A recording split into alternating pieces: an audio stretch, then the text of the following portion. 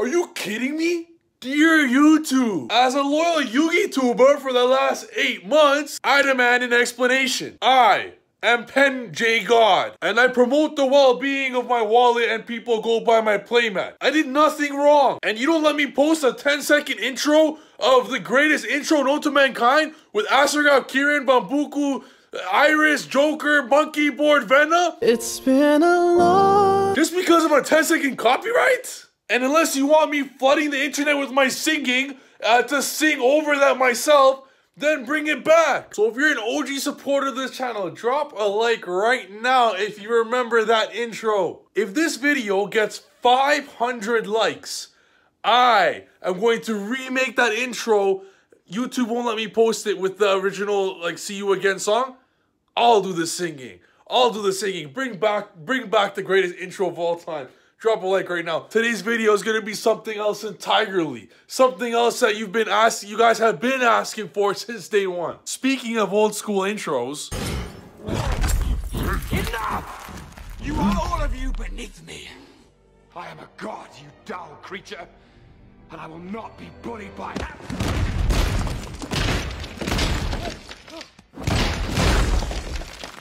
oh sister, we suck. Yeah, I know we do.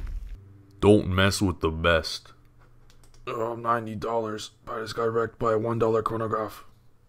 Good times, man. Good times. That was my very first destroy hand trap video eight months ago. Time flies. Eight months ago, I had zero subscribers. Now I have 15,000. I love you guys. I absolutely love you guys. Today's video, all right, as you saw by the title, is going to be me destroying hand traps. And let me show you what inspired me to make this video for today. So I'm scrolling through my YouTube comments and I see one that catches my eye. Typically zero IQ comments catch my eye. 1000 IQ comments don't because that's just normal to me. But when I see a zero IQ one, I just think, what? And here's the comment from someone called Joel San. He says, nice, too fragile to hand traps indeed, but godly boards. Time to fight 0 IQ with 5000 IQ. This argument is gonna go well. So being the intellectual uh, that I am, I decided to respond as an intellectual would. So my response to Joe-san, Joe-san, that is such a generalization. Normal pens die to hand traps. This virgin does not get any girl. Oh, uh, this virgin does not. Uh, I guess I was thinking the other thing.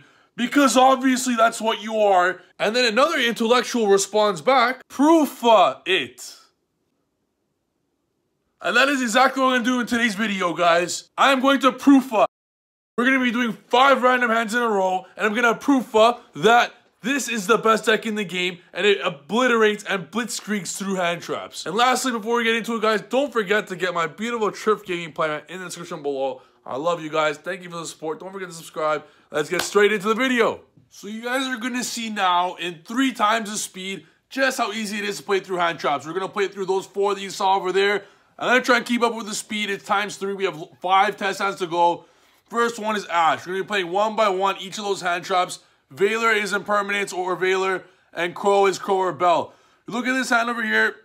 This hand is so bad versus Ash. Why? Because you're to lose two cards here.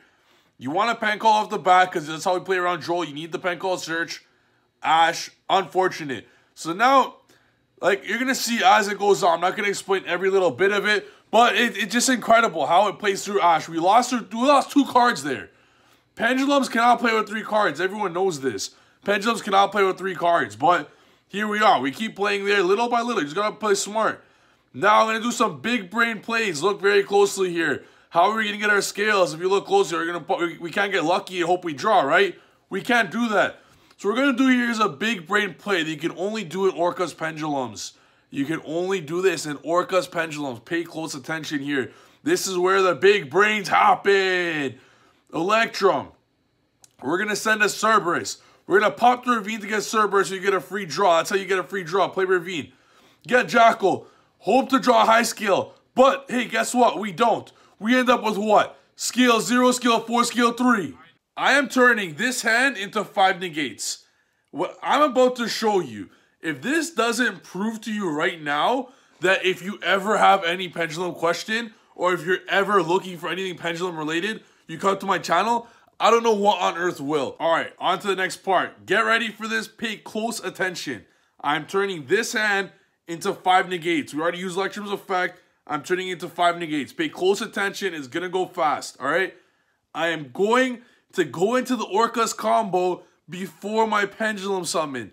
That is what happens when you get hand trapped, and it's going to save my entire turn.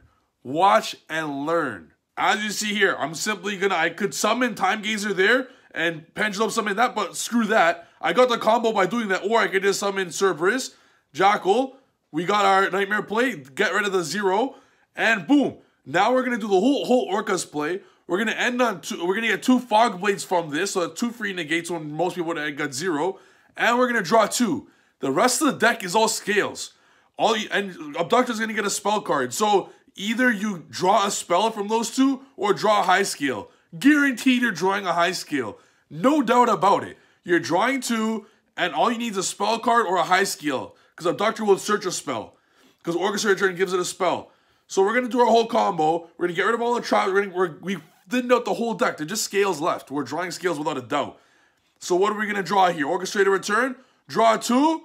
What happens? What happens? I'm literally the pen god, as I said. Boom. Pen two. You can only special darks for the rest of the turn. No problem, bro. That's what we did. Summon a Jackal, Dark Worm, Harp Horror by the effect of by the effect of the uh, World Wand card. Boom. Five negates. Nightmare got two, Jackal got one because Abductor got two counters, two Fog Blades. Five negates right there when most people would have got zero. Remember that the hand? That hand was a scale 3, a scale 4, scale 0, and Electrum already uses the fact. Ended up on that board. Five negates. Yeah. Yeah. Do you want to play Pendulum Orcust yet? Have I made you a believer of the Guard yet? You guys got to listen to me when it comes to pendulums, all right? That was through an Ash, through an Ash on our pen call. Uh, all right, next. Crow or Belle. Crow slash Belle, whatever it may be. People are see there's a lot of is in play big time because Salamangreat. So Crow slash Belle, our shrine now cannot be activated. No problem. Same thing as Ash. They would Ash the shrine. How to also play through Ash here. Why how? By playing 21 turbo cards. That's how. Like it's a 21 turbo cards. You gotta play every one possible. That's As I've been telling you guys, that's how to play around hand traps. You guys cry about pendulums losing to hand traps. It's because you play shit stuff like three Black Fangs and three Dragon Pits, like, and you don't play actual good cards or turbo cards. You gotta play as many turbo cards as possible, and that's how you play around the hand traps. You guys saw it there. Like, the first one was the most impressive. Like, the way I turned the, the zero negate hand into five negates, that's gonna turn anyone to a believer. Now, this is just normal. This is normal when you're playing the best deck. Like, you just literally blitzkrieg through the hand traps. Like, what's an Ash gonna do? Like, what's a Veiler gonna do? Literally nothing. As long as you play as many turbo cards to draw to as many as possible, you're good. Ash literally does nothing after that. So the Belle does nothing. Veiler does nothing. Impermanence does nothing. Ogre does nothing. I'm going to show you guys at the end. We played through Ogre twice just to show you guys, to make you guys real believers. They're just going to keep going there. Like the first one was five negates. And this one, like, we're going to do the exact same thing. Like, pay, look, look, look. Like, pay close attention. Through a Belle, o, Belle, Crow, Ash, because Ash would get rid of the Shrine as well, right? We're going to end up the whole normal combo here. We're going to end up on a Boros Savage Dragon as well. Like, two Omni Negates. Like, it's incredible. Like, that's a Savage Dragon just proxying right there. Going to get Unicorn. It's going to simply go into the combo. So, if this is too fast for you guys, go check out my three random test hands where I go do two times the speed. This is three times the speed, so I go through more test hands with you guys. I could do, these are all in a row too. There's no breaks. There's no breaks. There are five test hands in a row through hand traps in a row. Like, it's actually incredible. And as you see there, we're going to simply do our combo, and it's amazing. Like, it's truly amazing. Jackal's going to get counters there. We're going to have follow-ups for next turn. The best follow-ups, Pencall and Destrudo. The best follow-ups. Like, this deck's nothing short of absolutely incredibleness. Incredibleness. That's a word, all right? Trif English. So, like, what are you going to do? Like, you got Orcust for follow-ups. You got Pencall, Dragon Ravine. That's another one in the books. Two games in a row where we destroy hand traps. The first one, most impressive, obviously. You turn no, I turned zero negates to five negates. This one, we also got five negates with amazing follows for both. Rusty's coming back every turn. Orcust is coming back every turn. This one, test hand number three, we're dealing with Veiler. So we look at our hand. Hey, what do you know? Two dead cards. bricks, right? Fog Blade and uh, Orcust Knightmare. That's horrible. Like they're horrible. You you hate drawing them. You don't want to see them. You drew two discard outlets. That's fine. Whatever. You're gonna keep playing your your thing. Like there's nothing you could do here. It's like Veiler is gonna hurt this hand because you drew two bricks, right? You drew Orcust Knightmare and you drew Fogblade. If you notice, I didn't discard any of them. I don't. I want to see them. Fog Blade's a free negate. That's sick. Makes it even easier to go into it. Now, I would, have wished Fog Blade was any other card because they're gonna search it anyways. But whatever. That's fine. So this is the most brick you're ever gonna see uh, pendulums ever have. Like my pendulums. The the most brick possible is four negates, and we're gonna end up with four negates here. That is, or like it's the most brick you'll ever have with the deck. Now, a Veiler there would have stopped most turns. If that was just two Black Fangs instead of an Orcust Knightmare and a Fog Blade, most people would have end there. This is the worst hand we're going to have out of all five test hands. And you know what? That's fine. Uh, to make it quicker, I'm taking all the cards I'm going to search in the combo. We're still going to end on four negates. Like, it's not like like Veiler pass, you know what I mean? You're still ending on four negates here. Nightmare being two, because uh, Book of Moon in this format is better than a negate. Uh, much better than a negate. It clears Salamangreat Great boards like crazy.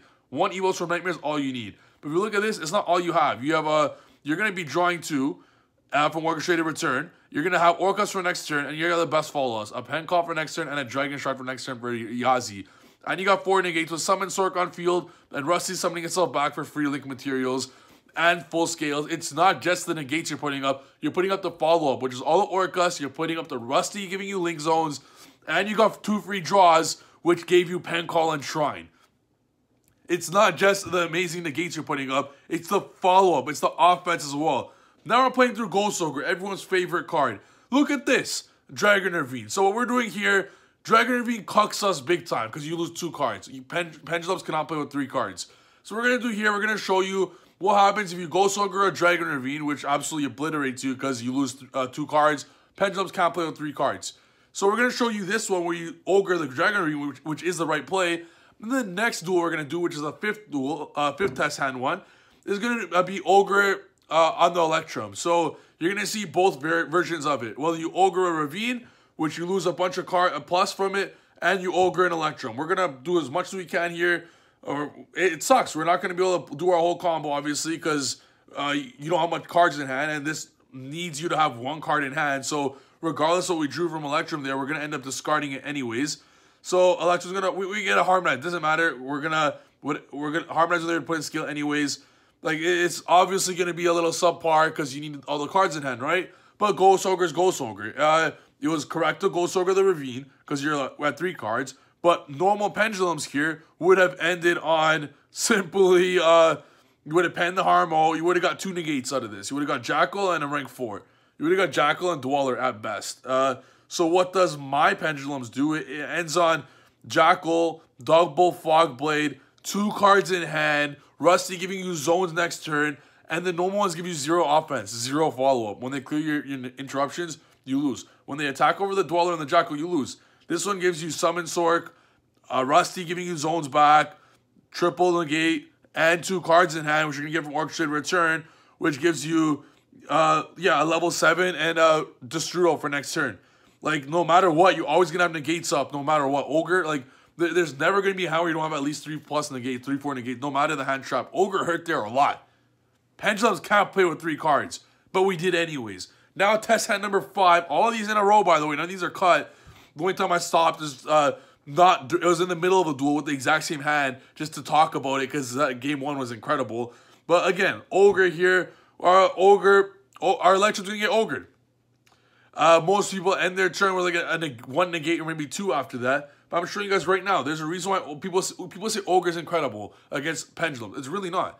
No hand trap's good against Pendulum except Gamma, which no one plays Gamma anyways. Electrum's gonna send our boy Harmonizing or girl, whatever, uh, and Oaf is gonna simply add it back. Now look at the situation here. If you were playing normal Pendulums, what would you do in this situation? What would you do in this situation? You would literally end on one absolute dragon, Vortex pass. You'd end on one Vortex Dragon and pass. That's what normal pendulums are doing in this situation. This ain't no normal pendulums. This ain't no normal pendulums. We're not going a Vortex pass. Let me show you guys where we're going to be doing.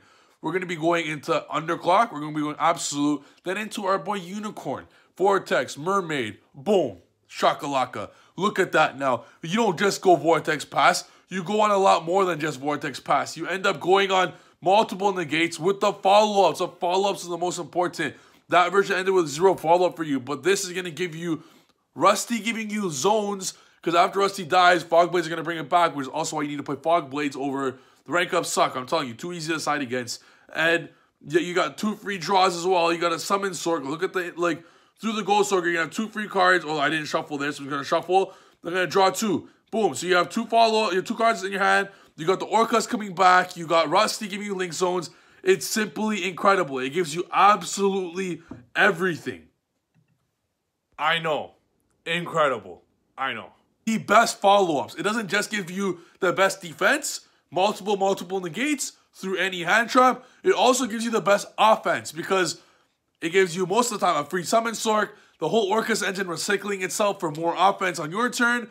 Fog Blades bringing back Rusty for Link Zones for you to summon to. You get to draw two cards. Those are four, five extra bonuses that are all plus ones on your turn after the stopping them from doing anything to your board from all, multiple negates. Which, if you play normal versions, all those hands were one negate, not three or four. This this video right here, if you have a brain, would really open your eyes to playing Orcust Pendulum versus normal Pendulum. This is the best version by a landslide. We drew Orcust multiple times in this. We drew a Fog Blade and an Orcust Knightmare, and we got Veiler. If those two were any pendulums, you're ending on um, two negates maximum. Uh, but we ended up on three negates with those bricks, the bad, bad, bad hands through the Veiler. And three negates while your opponent has five cards, you lose. Uh, what decks play Salamangreat? What Salamangreat is the only decks that play hand traps, right? They can't play through one negate, let alone three. So let alone four with five cards. Like, and if you don't get interrupted, you're putting up six negates. So this deck's absolutely insane. I think uh, it speaks for itself, honestly. It's absolutely incredible. If this doesn't open your mind about Orcust Pendulum, nothing will. Don't forget to subscribe, guys. Hope you guys like this video. Check out the beautiful Trif Gaming Implement in the description below. We'll see you guys in tomorrow's video. Peace.